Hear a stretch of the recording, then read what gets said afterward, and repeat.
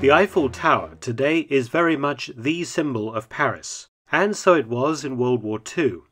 It became intertwined in the story of wartime Paris, from the German capture of the City of Light in 1940 to its liberation in 1944.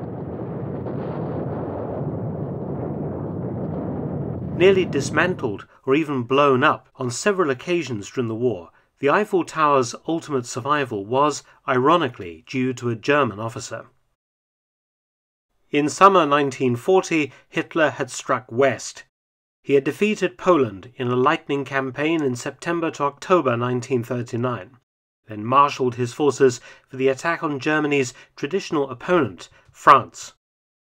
Attacking through Belgium and the Netherlands, French forces and the British Expeditionary Force were drawn north, where the great bulk of the Allied armies were trapped when Hitler unleashed a fresh offensive through the Ardennes forest, which the Allies thought unsuitable for tanks. The British Expeditionary Force began its painful withdrawal to Dunkirk, while Hitler's panzer forces smashed through French resistance and captured Paris on the 14th of June 1940. There was no fighting in the city. The French government had declared Paris an open city to prevent damage and German forces quickly moved to occupy important buildings and monuments. Naturally, the Eiffel Tower was a priority target, and not just for symbolic reasons. The tower served a useful military purpose as well. Constructed for the 1889 World's Fair, the Eiffel Tower stands 324 metres, or 1,063 feet tall, and was the world's tallest structure until the completion of the Chrysler Building in New York City in 1930. It has three levels, each connected by stairs and lifts. Because of its great height, the Eiffel Tower was utilized for scientific experiments from its inception. Radio was one area pursued by scientists. The French army took an interest in using the tower for wireless transmission experiments, and by 1913 the tower could send telegrams using electrical waves all the way to the United States and to ships crossing the Atlantic up to 6,000 kilometers from Paris. It really proved valuable in September 1914 during the Battle of the Marne during World War I. The radio station operators were able to listen in and decipher German army communications, information about the enemy's plans that led to a French victory at the Marne and saving Paris from the Germans. With the advent of television, the Eiffel Tower again was important. In 1935, a TV studio was set up, and the Eiffel Tower TV transmitter started beaming a television signal to Parisians who mostly could watch in special TV cafes, not dissimilar to modern internet cafes. As the German army once more threatened Paris in June 1940, the French army decided to take steps to make capturing the Eiffel Tower more difficult.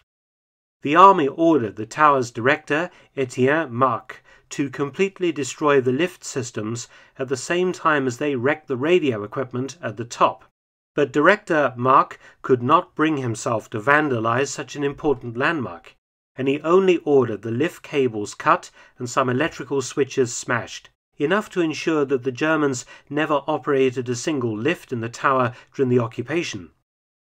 On the 14th of June 1940, a small unit of German troops decided to conquer the Eiffel Tower Carrying with them a huge German army battle flag, they climbed the 1,710 steps to the top, filmed for propaganda purposes. The first flag raised actually blew away two hours later, and the stunt was repeated with a smaller flag. Hitler himself paid a flying visit to the Eiffel Tower on the 23rd of June 1940.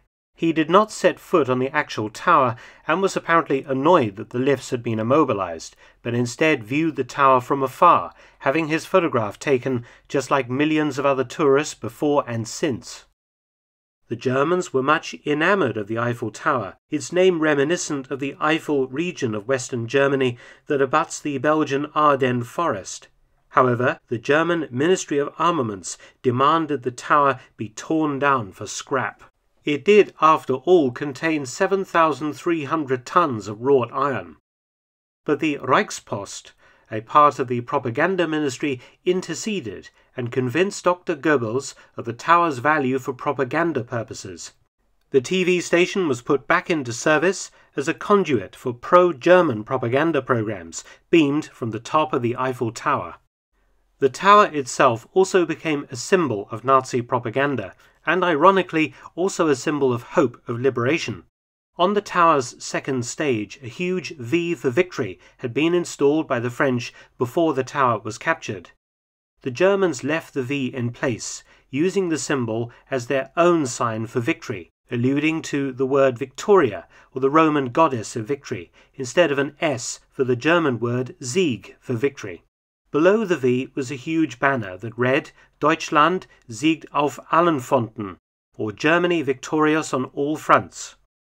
British Prime Minister Winston Churchill wittily observed that the V actually stood for the German word verloren, or defeat, and the French resistance went about defacing the German slogan, which was found hanging not only on the Eiffel Tower, but was painted all over occupied France.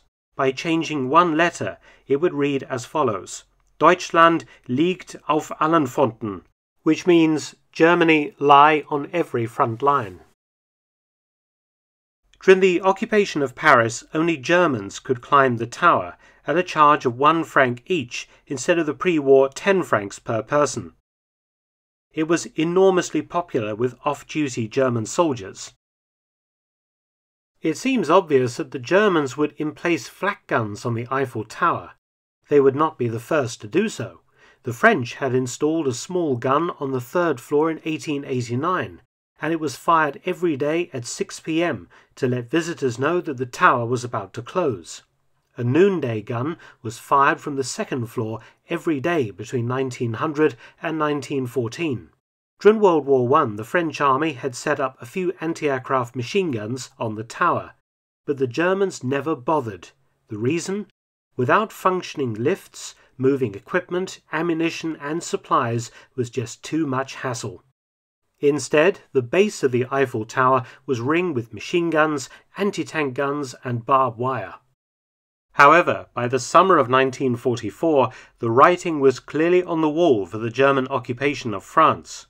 Following the D-Day landings in June in Normandy and the Dragoon landings in southern France in August, the German army had fought hard but then broken and retreated steadily back towards the borders of the Reich with American, British, Canadian, Polish and Free French forces in hot pursuit. Hitler ordered the German commandant of Paris, General Dietrich von Choltitz, to enact a policy of demolishing Paris landmarks in a cynical attack on French culture, but the embattled Choltitz refused to carry out such an order. As sporadic fighting took place in the city, as Free French forces fought trap pockets of German troops, on the 25th of August 1944, a small group of French firefighters and some men from the French Naval Museum, both carrying homemade French flags, climbed to the top of the Eiffel Tower. As they climbed, they actually came under rifle and machine gun fire from German troops surrounded in buildings below. But the museum staff made it first and tore down the German flag from the top of the Eiffel Tower, putting up the French tricolor in its place. Shortly after, General von Choltitz surrendered and Paris was saved. Shortly afterwards, a US Army signals detachment climbed to the top and established a radio station to enable secure communications with the Channel ports and the American, British, and French forces east and southeast of Paris. As the front line moved away from Paris, the Eiffel Tower became once again a popular destination for tourists, this time US soldiers on leave. The tower's director oversaw repairs to the lifts and by 1946 they were once again operational. Please subscribe, share, and also visit my audiobook channel, War Stories with Mark Felton. Details in the description. You can also help support both of my channels through PayPal and Patreon. Details again in the description box.